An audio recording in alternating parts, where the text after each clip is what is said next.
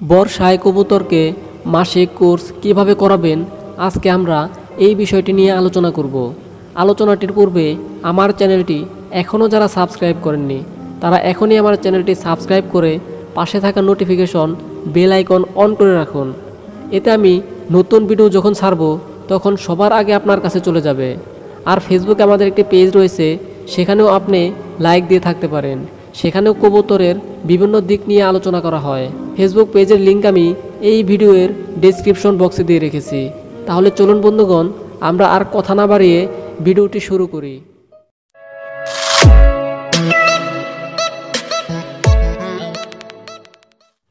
বর্ষাকালীন সময়ে শীতের মতোই একটু বেশি খেয়াল রাখতে হবে কবুতরের প্রতি, যেন আপনার কবুতরের খাদ্যে পরিমিত তৈল বীজযুক্ত থাকে, যেমন বাজরা তিসি, সরিষা, কুসুম বিচি, সূর্যমুখীর বিচি ইত্যাদি।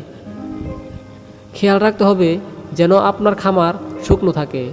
যদিও এই বর্ষায় এটা খুবই কঠিন একটা কাজ। আর সম্ভব হলে কবুতরের খাঁচায় বা খুপে ছোট এক টুকরা কাপড়, পেপার বা চট দিতে পারেন। এক থেকে পাঁচ তারিখ কবুতরকে হেমেকো পিএইচ এক মিলি এক লিটার পানিতে দিতে হবে। টানা তিন দিন অথবা দুই টেবিল চামচ সাফি, এক টেবিল চামচ ফেবনিল এক চামচ মার্বেলাস, এক লিটার পানিতে মিক্স করে টানা চার থেকে পাঁচ দিন সাধারণ খাবার পানির হিসেবে কবুতরের সামনে পরিবেশন করতে হবে। অথবা হোমিও বাপতেশিয়া তিরিশ, এক সিসি, এক লিটার পানিতে মিক্স করে টানা পাঁচ দিন কবুতরকে দিতে পারেন। এই কোর্স চলাকালীন সময় কবুতর সবুজ পায়খানা করতে পারে। আর এই অবস্থায় ওষুধ বন্ধ করা যাবে না। এটা ভিতরের জীবাণু বের করতে সাহায্য করে। কবুতরকে এই কোর্স একটানা করাতে হবে। ধরে খাওয়ানো যাবে না এবং অসুস্থ কবুতরকে খাওয়ানো যাবে না। তাতে বমি করতে পারে। সরাসরি কখনো এই ওষুধ কবুতরকে খাওয়ানো যাবে না। এই ওষুধটি বাচ্চা থাকা বাবা মাকেও খাওয়াতে পারবেন। কারণ এ সময় তারা সরাসরি কোনো খাবার দেয় না। কর্পে জমে থাকা এক ধরনের কবুতরের মিল্ক আছে, সেটিই তার বাচ্চাকে খাওয়ায়। ছয় তারিখে কবুতরকে ইলেকট্রোমিন স্যালাইন এক লিটার পানিতে এক গ্রাম মিক্স করে দিবেন। সাত থেকে বারো তারিখ ভিটামিন বি কমপ্লেক্স হিসেবে টক্সিনিল, বিউবিট বি কম্বিট এক সিসি অথবা এক গ্রাম এক লিটার পানিতে মিক্স করে সাধারণ খাবার পানি হিসেবে পরিবেশন করবেন এক টানা তিন দিন। তেরো তারিখ কবুতরকে হোমিও বেলাডোনা তিরিশ, এক সিসি, এক লিটার পানিতে মিক্স করে সাধারণ খাবার পানি হিসেবে পরিবেশন করবেন। মাসে একবার। প্যারামক্সিন বা এই ধরনের রোগ থেকে মুক্ত থাকতে সাহায্য করবে। যারা মুরগির ভ্যাকসিন দিবার জন্য পারাপারি করেন, তাদের জন্য এটি খুব ভালো কাজ করবে। চোদ্দ থেকে সতেরো তারিখ কবুতরকে ক্যালপ্লেক্স এক গ্রাম, এক লিটার পানিতে মিক্স করে টানা তিন দিন সাধারণ খাবার পানি হিসেবে পরিবেশন করবেন। এটি ক্যালসিয়ামের অভাব পূরণ করবে। আঠারো তারিখ কবুতরকে রসুন বাটা, মধু, লেবুর রস এক লিটার পানিতে দুই চামচ রসুন বাটা, দুই চামচ মধু আর এক চামচ লেবুর রস মিক্স করে দিলে ভালো হয়। তবে পানি অবশ্যই ছেঁকে নিতে হবে।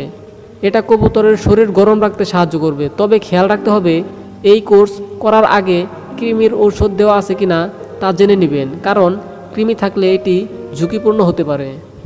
উনিশ তারিখ কবুতরকে হোমিও বুরাক্স তিরিশ এক সিসি এক লিটার পানিতে মিক্স করে সাধারণ পানি হিসেবে পরিবেশন করবেন। বিশ তারিখ কবুতরকে আপেল সিডার ভিনেগার দিন। এক্ষেত্রে আমেরিকার তৈরি আপেল সিডার ভিনেগার সর্বোত্তম। তবে অপরিশোধিতটি পেলে ভালো, কারণ এটা কবুতরের স্যালমোনেলা প্রতিরোধে সাহায্য করে। এক লিটার পানিতে এক সিসি বা তার কম, বেশি প্রয়োগ করবেন না, তাতে বিপরীত ফল হতে পারে। বাইশ থেকে ছাব্বিশ তারিখ পর্যন্ত কবুতরকে লিভার টনিক দিন। অধিকাংশ কবুতর লিভারজনিত সমস্যায় বেশি ভুগে থাকে, তাই লিভারের ব্যাপারে একটু খেয়াল রাখা জরুরি। এক্ষেত্রে আপনি হামদারদের সিনকারা, কারমিনা ইত্যাদি ব্যবহার করতে পারেন। এটি এক চামচ এক লিটার পানিতে দিবেন, টানা তিন থেকে চার দিন। সাতাশ থেকে তিরিশ তারিখ। রেনা ডব্লিউএস এক গ্রাম এক লিটার পানিতে মিক্স করে নর্মাল পানির মতো পরিবেশন করবেন। এটি সকল ভিটামিন ও মিনারেলসের অভাব পূরণ করবে কবুতরের। এই শখ যে আপনাকে অনুসরণ করতেই হবে, এমন কোনো বাধ্যবাধকতা নাই। এটা আপনার পছন্দ অনুযায়ী পরিবর্তনও করে নিতে পারবেন।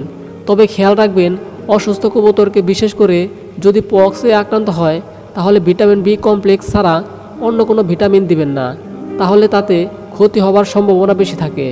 অবশ্যই খেয়াল রাখবেন যেন আপনার খামারে কোনো অবস্থাতেই বৃষ্টির পানি না আসে বা কবুতর না ভিজে। যদি আপনি আপনার খামারের সঠিক যত্ন নেন, আশা করি এই বর্ষা অনায়াসে নিশ্চিন্তে পার করতে পারবেন।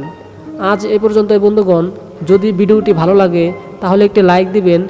আর যদি কোনো বিষয়ে জানার থাকে, তাহলে কমেন্ট করবেন। আল্লাহ হাফেজ।